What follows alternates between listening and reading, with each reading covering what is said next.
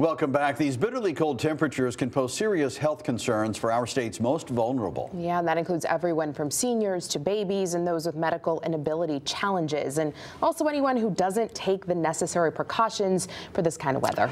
We're joined live now by Dr. Husnain Kermalli of Trinity Health of New England.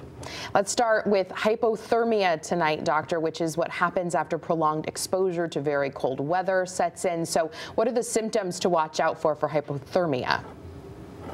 So for hypothermia, what we're looking at is, of course, numbness, uh, disorientation, lack of um, feeling in the extremities. Um, it actually is sometimes pain that then goes away. Um, and then we really want to worry a little bit of shivering, and then the shivering that goes away, that's where we start to really worry about the hypothermia different classes as it becomes more severe. Yeah, okay.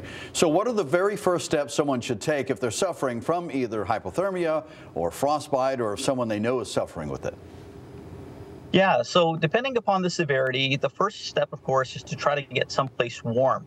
Um, get them indoors, someplace warm, number one. Number two, if there's any wet clothing that's on, you definitely want to remove that wet clothing from there, um, it, you know, it, it sometimes is um, some some people try to get them into a warm blanket um, and and something dry, just so that we really want to slowly start the process of rewarming.